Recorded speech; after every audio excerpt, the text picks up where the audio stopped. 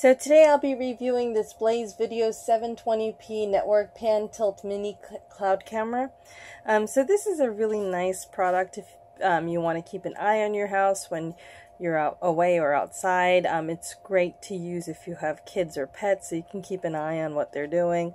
Um, it has a very handy two-way audio and voice input and output feature.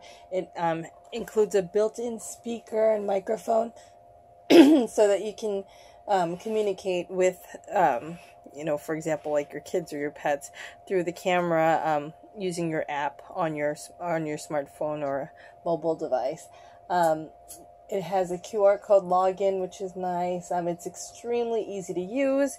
Um, the graphics are very smooth, very clear, and just overall, I found it to be extremely easy to use, easy to set up, and um, just very nice quality overall. So um, I highly recommend this product. I think it's great um, to get for yourself, or it could also be a nice gift for new parents.